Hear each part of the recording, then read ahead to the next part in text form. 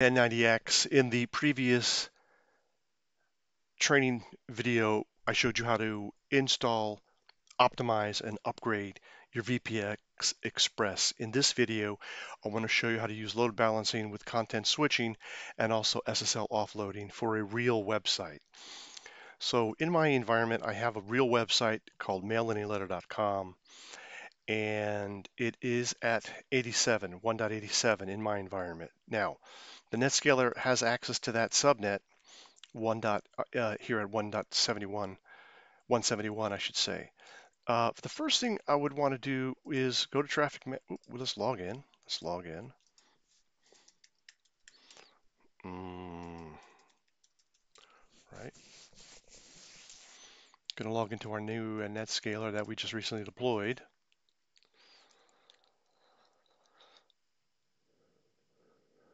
Okay. All right. Uh, first thing we're going to do is go to traffic management and to content switching. Let's enable it, enable the feature by right clicking on that and saying yes.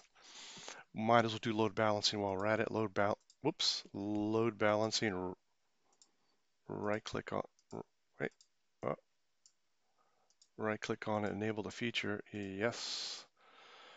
Uh, SSL, we need SSL, so let's click it, right click on it, enable the feature. Okay, certainly we could have gone into system settings, basic features, content switching is on, uh, SSL offloading is on, load balancing is on. We could have done it in here. Uh, one thing I want to do is go to advanced settings, turn off call home. I don't have anybody to call home to. Configuration modes, these are all good. Uh, for right now, Okay, now what else? Okay, for now, for now that's good. Of course, the license is the express license with everything enabled with uh, no expiration date. This is just fantastic for the lab. Uh, I want to go to traffic management. I want to go to content switching. I want to go to virtual servers and I want to create a new virtual server. Uh, this content switch virtual server, I'd, you can call it whatever you want, but try to be consistent. So I'll call it a content switch underscore, uh, let's call it mail any letter. I want the protocol to be SSL because I want to do SSL offloading. And uh, I need to give it an IP address. The IP address will be 10.0.1. Uh, what did I make it? 88? 88? I believe it's 88. You want to pregame everything. 89. Let's make it 89. It's 89. Pregame everything so that you know what you're going to do. Of course, it's down because there's no, yeah, 87 is the actual. Uh, I just made it 89. Okay. Uh, there is no content switch policy bound. There is no default virtual server bound, we will say, can we do this here? Uh, this is a, just no default. If I say okay, okay, now SSL profile, I don't want to mess with that, but SSL ciphers,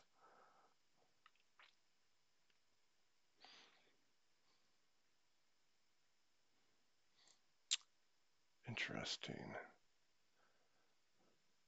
Can skip all this.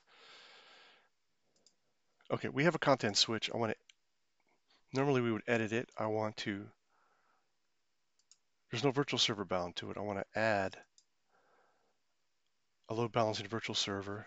It's going to be called virtual server underscore mail any letter.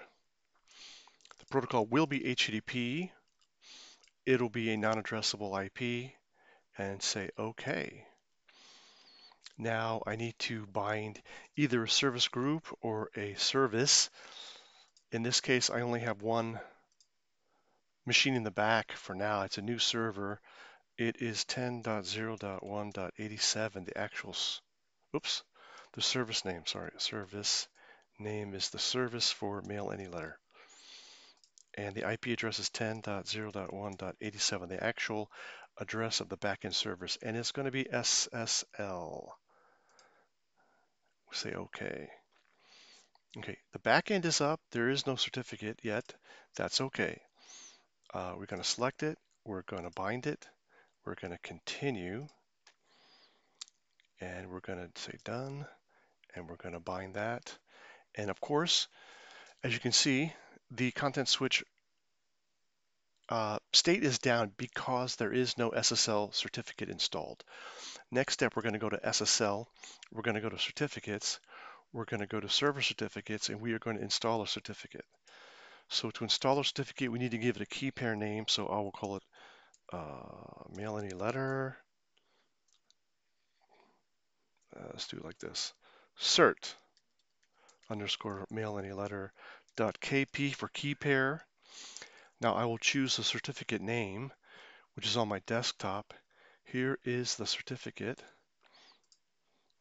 And I will choose the key name, which is the private key. And then I will say install. And now I have a key pair. It's going to expire in 42 days, but that's okay.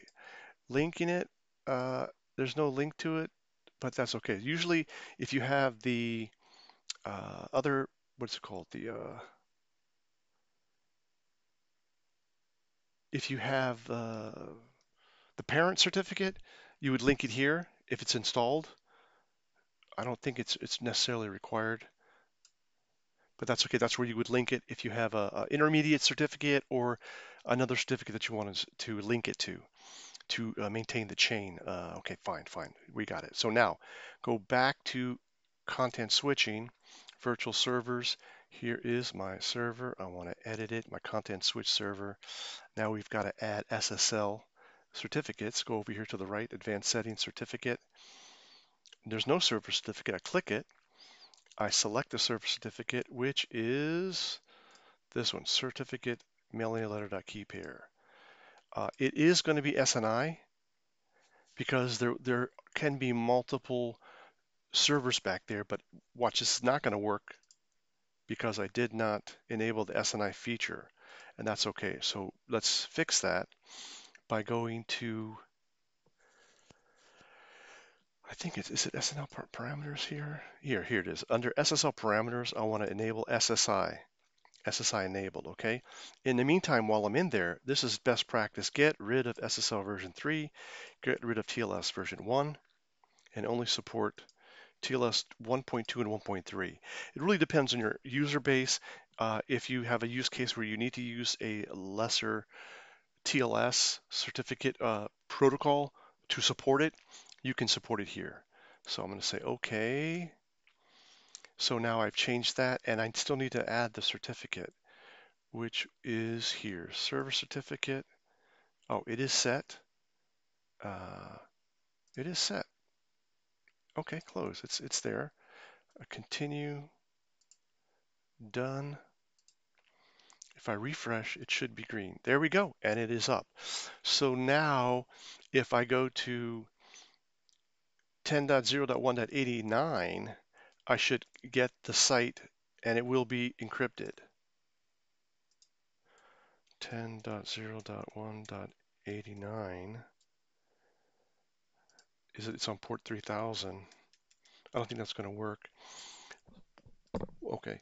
Well, we in this in this scenario, because the website is running on port 3000, I updated my host file so that if I type in HTTPS www.mailanyletter.com, it goes to the web server. Now, if I check to see if I ping www.mailanyletter, you can see that it's 89, which is the IP address of the content switch. Okay. And now I have SSL offloading I have content switching, I have a virtual server and a service running So now all traffic is proxied by the NetScaler. So you can follow these exact same steps to secure your websites or your backend using the NetScaler as a front end proxy.